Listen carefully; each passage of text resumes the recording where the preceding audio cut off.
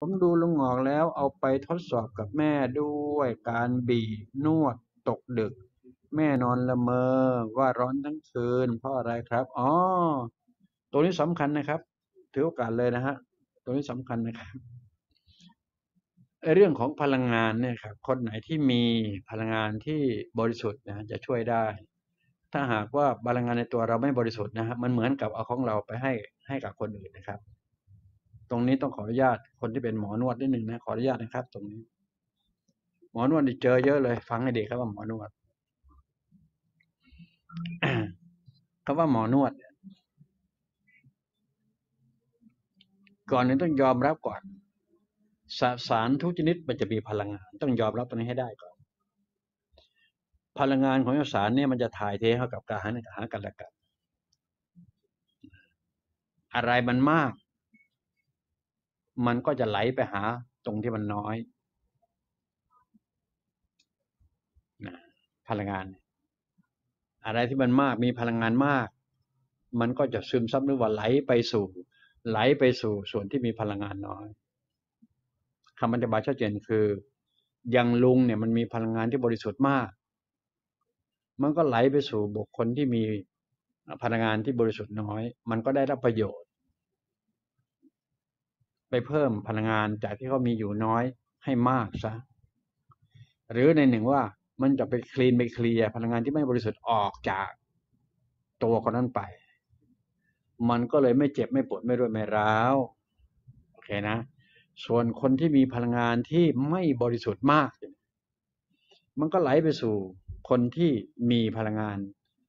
ไม่อะไรนะมันไป อืม มันก็ไปเพิ่มพลังงานไม่บริสุทธิ์ให้กับผู้ป่วย ผู้ป่วยเขาเนี่ย หรือว่าคนเท่าชราแก่ชราเนี่ยพลังงานบริสุทธิ์ก็จะเหลือน้อยต้องยอมรับเลยนะพลังงานที่ไม่บริสุทธิ์จะมีเยอะ ก็คือเจ็บไข้ได้ป่วยนั่นแหละครับเขามีเยอะอยู่แล้วไอเราก็มีพลังงานที่ไม่บริสุทธิ์เยอะอยู่ด้วย ไปแตกกับปุ๊บก็เป็นปีเป็นคุยเนี่ยครับอ่าขอให้เข้าใจในกรอบนี้ กรอบอ้างอิงนี่หน่อยก็แล้วกันนะ เพราะฉะนั้น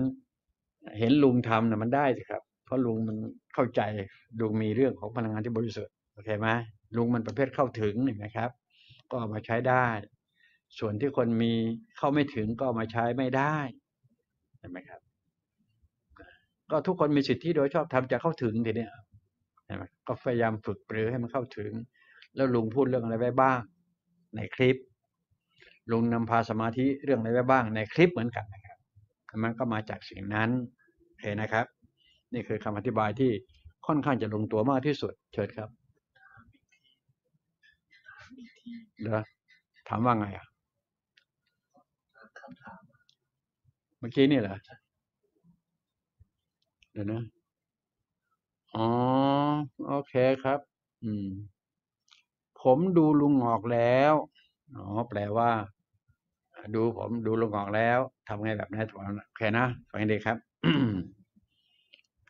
ผมดูลุงหงอกแล้ว แปลว่ารู้วิธีดูหงอก ก็เลยเอาไปทดสอบกับคุณแม่โอเคนะครับ ด้วยการบีบนวด เหมือนลุงหงอกทำกายตะไคร่ใช่ไหมบีบนวดจับนู่นนี่นั่นเห็นไหมพอเวลาตกเดึกคุณแม่ กลายเป็นนอนละเมอ ร็จแล้วก็บ่นว่าร้อนทั้งตัวเลยอย่างเงี้ยครับ เพราะอะไรครับคำอธิบายคำตอบเนาะก็เพราะว่า คนสองคนก็คือสสารสองก้อน เห็นไหมแต่แล้วก็น้ำหนักไม่เท่ากันอยู่แล้วแหละ โอเคนะ ตอนนี้กำลังพูดถึงของของพลังงานนะครับ พลังงานจะไม่เกี่ยงน้ำหนักอะไรทีเนี้ยพลังงานคนไหนที่มีมาก มันก็จะไหลไปสู่คนที่มีน้อย โอเคนะสำหรับของลุงเนี่ย มันมีพลังงานที่บริสุทธิ์มาก มันก็เลยไหลไปสู่คนที่มีมีน้อย คนน้อยก็ได้รับใช่ไหมเพราะฉะนั้นสุขภาพร่างกาย คนที่ได้รับจากพลังงานของลุงเนี่ย มันก็ดีวันในคืน หายเจ็บหายปวดหายรวดหายร้าว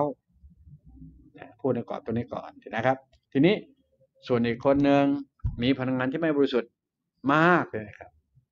นะทีนี้พอเวลาไปแตกกับบุคคลอื่นหนึ่งไอ้พลังงานที่บริสุทธิ์ที่ว่าไม่บริสุทธิ์ที่ว่าก็ไหลสู่คนนั้นทำให้คนนั้นเจ็บปวดรวดร้าวมากยิ่งขึ้น มองเห็นไหมครับ และหรือที่บอกว่านอนละเมอเพ้อพกเหล่านี้เป็นต้นก็ไปไปได้เนี่ยเราพูดในกรอบของพลังงานมากกับน้อย มันไหลไปสู่กัน หลักการนี้เป็นหลักการวิทยาศาสตร์ ซึ่งมันเป็น คำมาจากของนิวตันครับนะครับนิวตันนักวิทยาศาสตร์เอกของโลกนะนิวตันนะครับ หลักการทางวิทยาศาสตร์เป๊ะเลยตรงนี้โอเคนะเอาละทีนี้กลับมาถึงที่มันลึกซึ้งเกินไปกว่านั้นทีหนึ่งนี่สำหรับลุงหงอกล้วนๆเนี่ยเนี่ยลุงหงอกล้วนเป็นอย่างนี้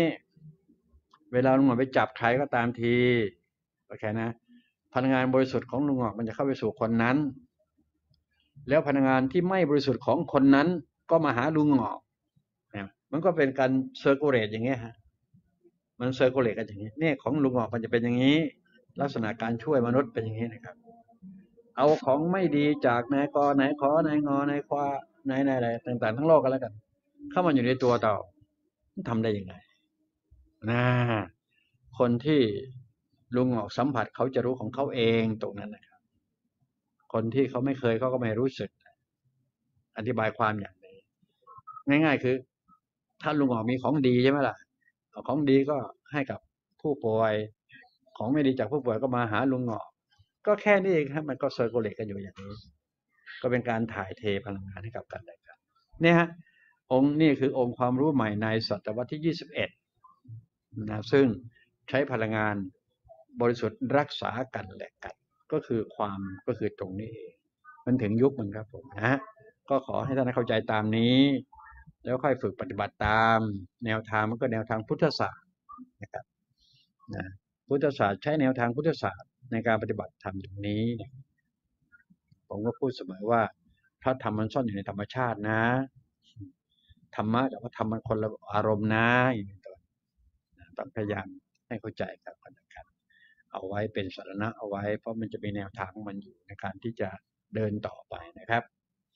นะทุกคนมีสิทธิ์ที่โดยชอบธรรมนะฮะที่จะรู้และเข้าใจกับสิ่งที่ลุงกำลังเล่าตรงนี้ให้ฟังอยู่ขณะนี้นะครับ